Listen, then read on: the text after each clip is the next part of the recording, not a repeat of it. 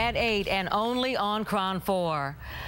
There is an investigation underway to determine how so much garbage ended up on one street in Oakland. Look at this video. It was more than anyone had seen at one time, which had investigators and city officials scratching their heads. Illegal dumping in Oakland is a problem we've been following for a long while here at KRON 4. City leaders even took action to address it. Now, KRON 4 Stanley Roberts gets to the bottom of this particular incident in his edition of People Behaving Badly.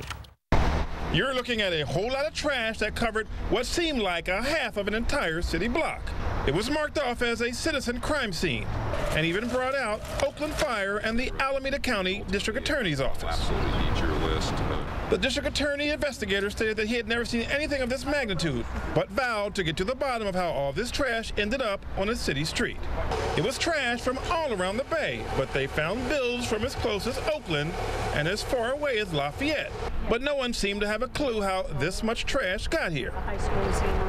Photos were taken and letters with addresses were photographed and cataloged, looking for any and all evidence of whoever dumped all this trash so they could be identified.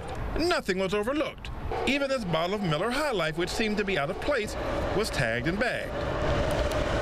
Oakland Vice Mayor Larry Reid came by and voices his pleasure on how some people appear to have no respect for Oakland. It's like a third world country, Larry. So was it some mad dumper coming into Oakland with rampant disrespect for citizens? Or was it a case of be careful what you wish for? Well, apparently, the Alameda County District Attorney's Office got right on the case and tracked down a suspect and possible motive. They looked at surveillance video, and this is what they found out. And that way, then you guys can. When the Oakland Beautification Council ended its highly successful amnesty dumping program two days early, well, some people didn't quite get the memo.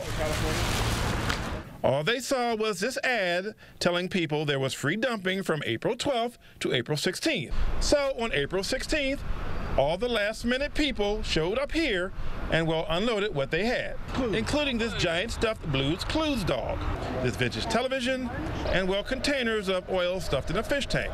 Everything possible was dumped here, including the bathroom sink. But what was learned here? The Alameda County District Attorney's Office will be doing whatever they can to find out and prosecute illegal dumpers in Oakland. But this proves my broken window theory.